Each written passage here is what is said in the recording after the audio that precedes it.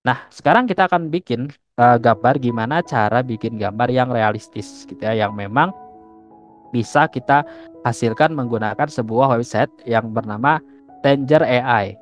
Nah, langkah pertama, teman-teman bisa langsung masuk ke website Tanger AI atau di sini ada opsi pilihan uh, opsi lainnya yang itu IP adapter ya, yang tadi kita praktekkan. Nah, kemudian di sini ada panduannya juga ya, pilih mode uh, pilih mode image isi mode ya, teman-teman ini tuh uh, kurang A-nya. Lalu masukkan prompt ya. Nah, contoh promptnya kayak gini. Nah, sekarang misalnya kita mau bikin karakter kayak gini nih, ya, kayak karakter Pak Ganjar ini, ya. Nah, di sini kita coba masuk ke Tanger. Nah, untuk masuk ke Tanger, teman-teman bisa langsung TNGR, ya, TNGR AI. Nah, setelah itu di sini tinggal di uh, enter ya. Kemudian teman-teman di sini bisa mulai masuk ke Tanger AI ya, Tanger AI.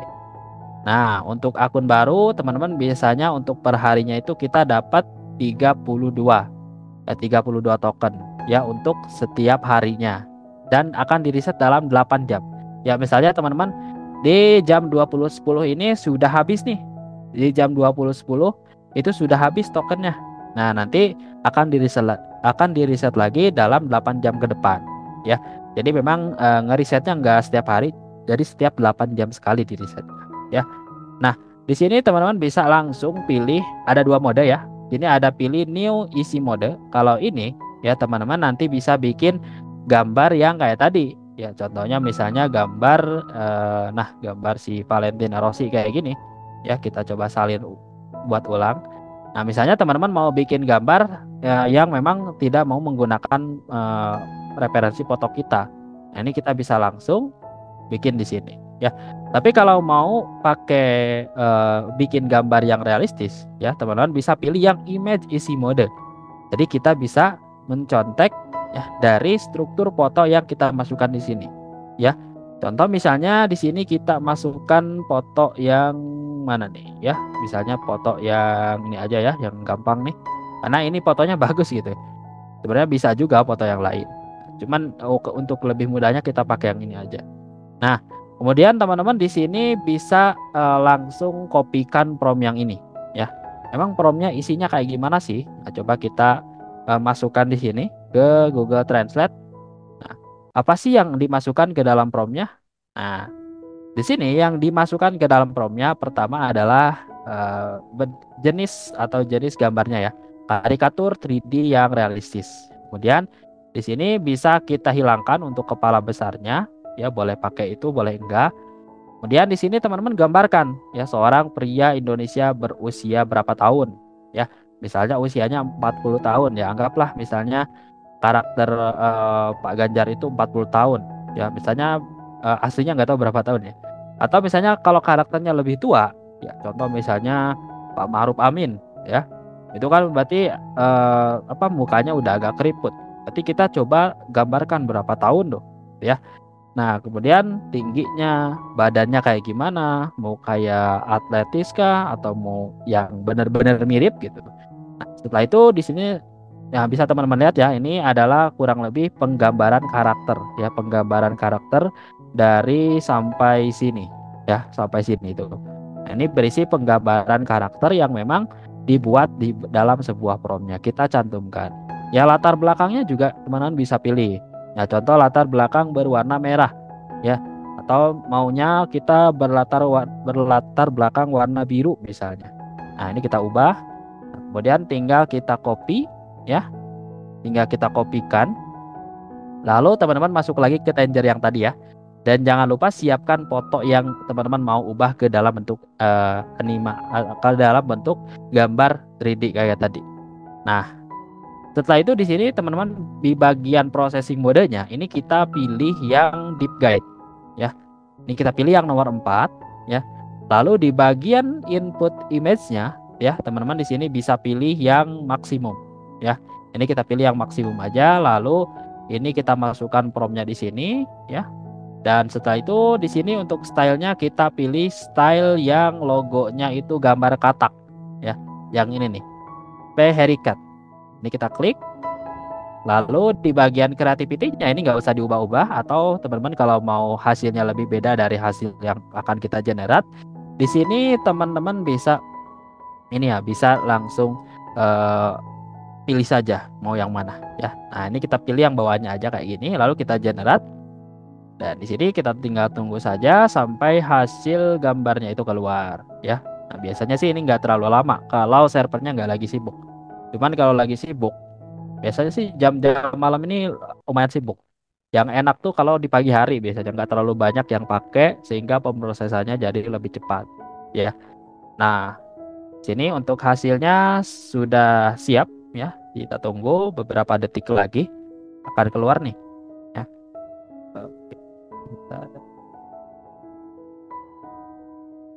Nah, kita tunggu.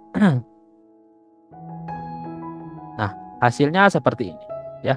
Hasilnya kayak gini dan bang ini kenapa agak mirip? Ya karena memang ini nggak bisa langsung pakai foto kayak di Leonardo tadi. Jadi fungsi dari foto yang kita masukkan ini adalah untuk mencontek stylenya gitu. Jadi mencontek style fotonya itu kayak gimana. Nah itu kan tadi karak, e, referensi fotonya itu kan kayak gini ya. Nah kayak gini ya. Kita buka nih. Jadi Misalnya teman-teman kalau fotonya gaya lain ya berarti nanti akan mengikuti foto aslinya. Jadi karakternya di sini akan mengikuti foto yang kita masukkan gitu. Nah, makanya di sini nanti kita perlu pakai tahapan berikutnya ya. Kita akan melanjutkan ke tahapan berikutnya agar si wajahnya ini bisa pakai wajah sendiri. Atau kalau misalnya karakternya di sini misalnya karakter tokoh tertentu, artis atau politikus, berarti kita tinggal paste web dengan menggunakan wajah.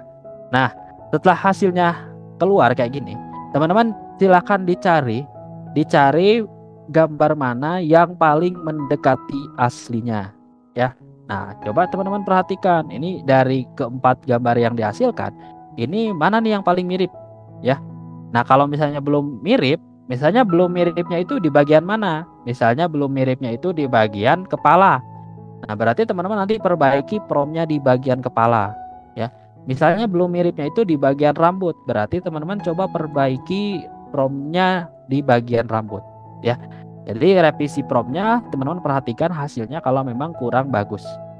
Nah, selanjutnya di sini kita coba lihat. Nah, misalnya kita mau pakai karakter mana nih yang paling mendekati mungkin uh, yang ini ya. Nah, misalnya kayak ini, yang ini kita download.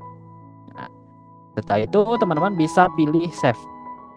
Nah, kayak gini. Ini kita sudah menyimpan gambarnya di sini. Nah, setelah kita menyimpan gambarnya, langkah berikutnya teman-teman bisa masuk ke website Remaker AI ya. Jadi kita perlu website tambahan agar wajahnya memang sesuai dengan yang kita inginkan. Nah, di sini teman-teman bisa masuk ke Remaker AI ya atau ke website web lain yang banyak banget ya. Selain Remaker, teman-teman juga bisa pakai uh, Webber ya Nah, teman-teman juga bisa pakai Passwapper passwapper.ai. Ini juga bisa pakai. Ya, jadi kalau misalnya limit token teman-teman di Remaker AI ini sudah habis gitu ya. Nah, teman-teman bisa bisa pakai website Passwap yang lain. Kayak contohnya di sini passwapper.ai ini juga bisa. Nah, kalau misalnya pakai Remaker ini kita bisa langsung oh, upload. Nah, untuk gambar aslinya ini kita masukkan gambar yang tadi kita generate di Tanger ya. Tanya gambar yang ini nih. Lalu kita pilih open ya. Nah, mungkin ini agak gembil ya.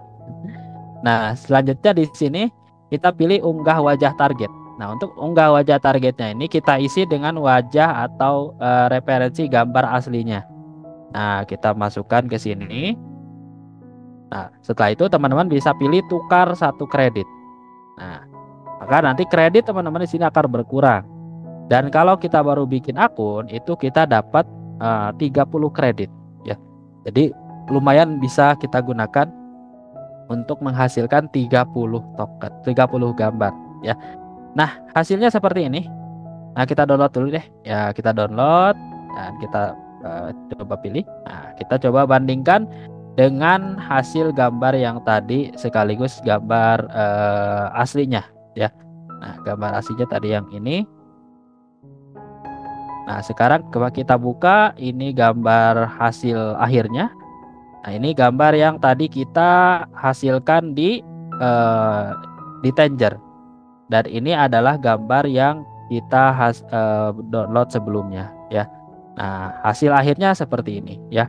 Nah, lumayan mirip ya, lumayan mirip dengan karakter aslinya. Nah, ini kayak gini dan kalau misalnya teman-teman belum password tentu hasilnya seperti ini ya. Yang penting di Tanger itu yang penting adalah teman-teman bisa mengcopy ya teman-teman bisa mengcopy untuk bagian kayak struktur tubuhnya gitu ya. Yang penting sama aja dengan foto aslinya ya. Nanti kita bisa selesaikan di pass web ya untuk bisa uh, hasilnya tuh kayak gini ya. Nah ini seperti ini. Selanjutnya teman-teman di sini bisa ini ya bisa upscale. Kalau misalnya kita butuh gambar yang resolusi tinggi nah ini kan masih kurang bagus ya kualitasnya. Nah, kalau teman-teman mau upscale lagi, teman-teman bisa masuk ke website Upscale Media ya. Nah, upscale uh, Media seperti ini. Nah, ini ini bisa teman-teman gunakan untuk meningkatkan kualitas gambar. Kalau misalnya kita butuh gambar yang memang memiliki resolusi yang tinggi. Nah, ini bisa dinaikkan kualitasnya di upscale.media. Bahkan ini juga sudah tersedia aplikasinya di Android. Ya, jadi memang uh, simple ya. Nah, ini hasilnya.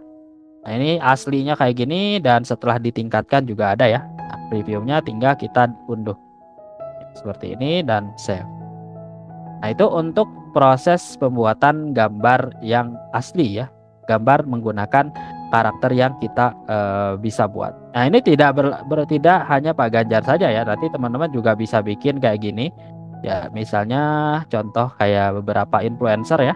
Misalnya kayak ini ya ini belum di upscale sih. Nah hasilnya kurang bagus nih. Ada yang kenal? Nah ini kemudian misalnya ini Pak Anies gitu ya. Dan ini menggunakan pola pola seperti tadi ya caranya kayak tadi. Ini Pak Ganjar dengan background warna merahnya. Ini Mas Gibran juga ada. Nah ini juga beberapa Habib ya Habib Jakpar dan ini beberapa influencer juga. Nah ini termasuk uh, Pak Prabowo juga dan ini Raditya Dika dan beberapa hasil generate gambar AI lainnya yang uh, sebelumnya saya buat di Tanger ya di Tanger. Dan kalau teman-teman kreatif ya kalau teman-teman mau mengulik lebih dalam lagi di Tanger ini tidak hanya teman-teman bisa bikin gambar kayak gini saja. Nantinya bisa bikin karakter-karakter lain yang nanti bisa teman-teman uh, coba praktekkan sendiri ya. Nah, itu untuk bikin gambar realistis yang memang bisa teman-teman gunakan di Tanger.